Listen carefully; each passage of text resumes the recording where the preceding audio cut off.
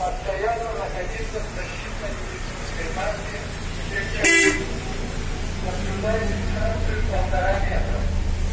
Проводить дезинфекцию рабочего места каждые два часа.